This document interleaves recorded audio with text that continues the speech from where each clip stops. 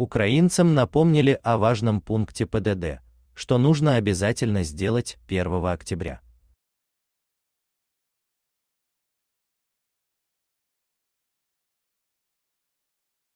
В Украине на осенне-зимний период снова начнет действовать важный пункт ПДД. С мая по октябрь это правило можно было не выполнять. Какой пункт ПДД должны выполнять все водители с 1 октября, читайте ниже.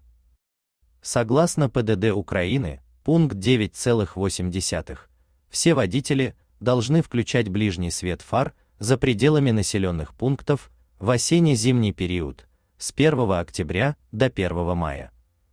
Таким образом, транспортные средства стают более заметными в условиях ограниченной видимости и короткого светового дня.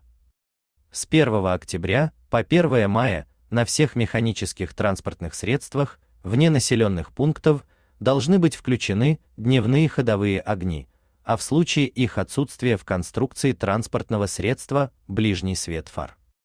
В условиях недостаточной видимости на механических транспортных средствах можно включить дальний свет фар или дополнительно противотуманные фары при условии, что это не будет ослеплять других водителей, сказано в правилах.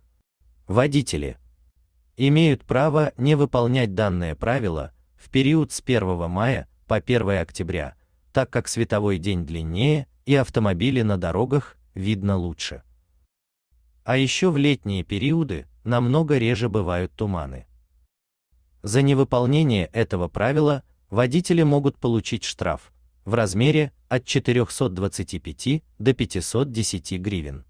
Кстати, ранее мы писали о том, какие самые крупные штрафы есть в Украине за нарушение ПДД. А также мы рассказывали о том, что с сентября начали работать новые правила для пересечения границы с Польшей. На авто генерация голоса выполнена с помощью Яндекс Speech Kit.